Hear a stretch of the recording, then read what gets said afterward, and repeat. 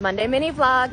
With Bree, it's that time of week again where I take one of my kids out for some one-on-one time. Bree has a chorus concert and we've got some work to do. First stop, TJ Maxx to look for a dress. First, she tried on a black one and it was cute, but she said it was itchy. And then she tried on this red dress and it is totally the dress. It looks stunning on her. Add on some red flats and she found a red headband at checkout to match perfectly.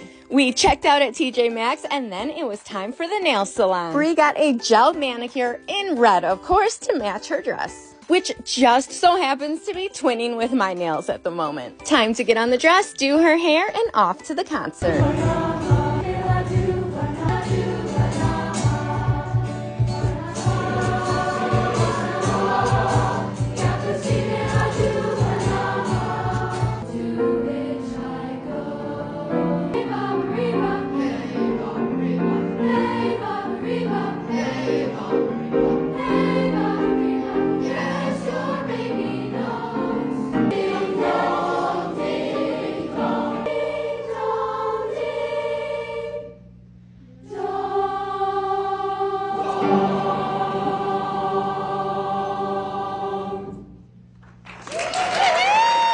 That's it for today.